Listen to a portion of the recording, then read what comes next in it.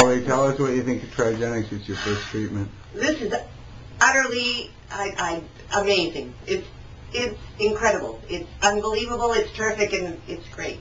It's wonderful. I'm gonna go dancing. And what did you have? You had both hips replaced? Both hips replaced, uh, chronic low back pain, muscle spasms all the time, flexibility, mobility. I mean, I can bend. Look at, I can bend. This is great. I couldn't do that before. That's great. This is great. This is wonderful. It's wonderful.